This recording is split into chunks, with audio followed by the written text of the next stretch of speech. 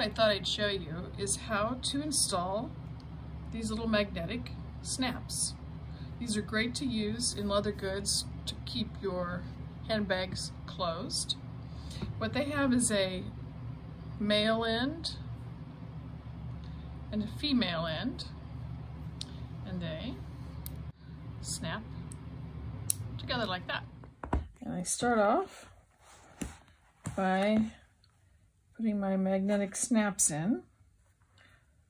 So I've marked the center of the bag here with a circle and I've lined up the backing here. So now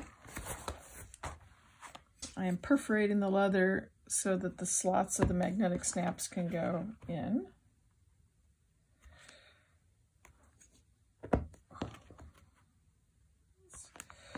So I'm using a antique nickel tone, put them through, take the backs on, just to use a flat thing. This is a punch, but I just use the back of it and bend down the prongs.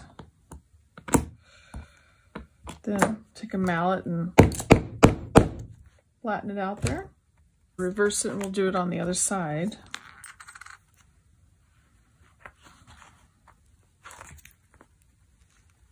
All right, put on the backing. This lends some strength and stability so that nothing pulls through.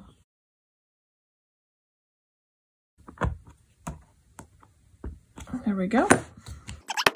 I'm going to take my contact cement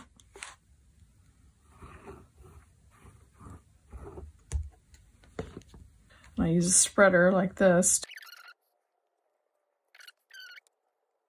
is, there's no odor to it at all. It's a water-based Renia Aquilim. Uh, I'll put a little bit of moisture, but for the most part, it's just nice and tacky.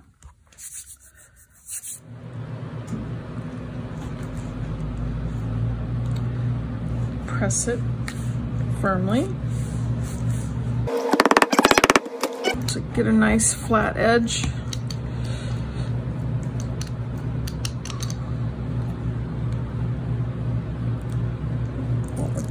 Surface off there. All right, done.